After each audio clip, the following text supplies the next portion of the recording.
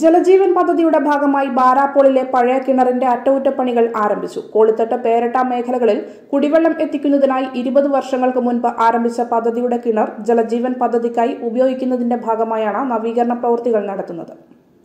ജലജീവൻ പദ്ധതിയുടെ ഭാഗമായി ഉളിക്കൽ പഞ്ചായത്തിലെ കോളിത്തട്ടിലെ സംഭരണിയിലേക്ക് വെള്ളം എത്തിക്കുന്ന കൂട്ടുപുഴ ബാരാപ്പോൾ പുഴയുടെ തീരത്തെ കിണറിന്റെ നവീകരണ പ്രവൃത്തികൾ ആരംഭിച്ചു. കോളിത്തട്ട് പേരട്ട മേഖലകളിൽ കുടിവെള്ളം എത്തിക്കുന്നതിനായി ഇരുപത് വർഷങ്ങൾക്ക് മുൻപ് ആരംഭിച്ച പദ്ധതിയുടെ കിണർ ജലജീവൻ പദ്ധതിക്കായി ഉപയോഗിക്കുന്നതിന്റെ ഭാഗമായാണ് നവീകരണ പ്രവൃത്തികൾ.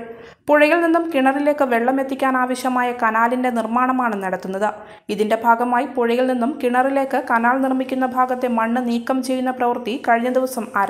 കിണറിൽ നിന്നും പുഴയിലേക്ക് ഇരുപത് മീറ്ററാണ് കനാലിന്റെ ദൂരം. നിലവിൽ പുഴയിൽ നിന്നും കിണറിലേക്ക് സ്ഥാപിച്ചിരിക്കുന്ന വലിയ പൈപ്പുകൾ ചെളി കയറി അടഞ്ഞ നിലയിലാണ്. പൈപ്പുകൾ എടുത്തുമാറ്റിയ ശേഷമാണ് പുതിയ കനാൽ നിർമ്മിക്കുക.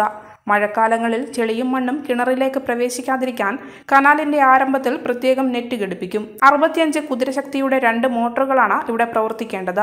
ഇതിനാവശ്യമായ വെള്ളം കിണറിൽ ലഭ്യമാക്കുന്നതിന് വേണ്ടിയാണ് കനാലിന്റെ നിർമ്മാണം. കഴിഞ്ഞ ഏഴു മാസമായി കരാറുകാർക്ക് പണം ലഭിക്കാതെ വന്നതോടെ എല്ലാ മേഖലകളിലും ജലജീവൻ മിഷന്റെ പ്രവൃത്തികൾ മന്ദഗതിയിലാണ് നടന്നുവരുന്നത്.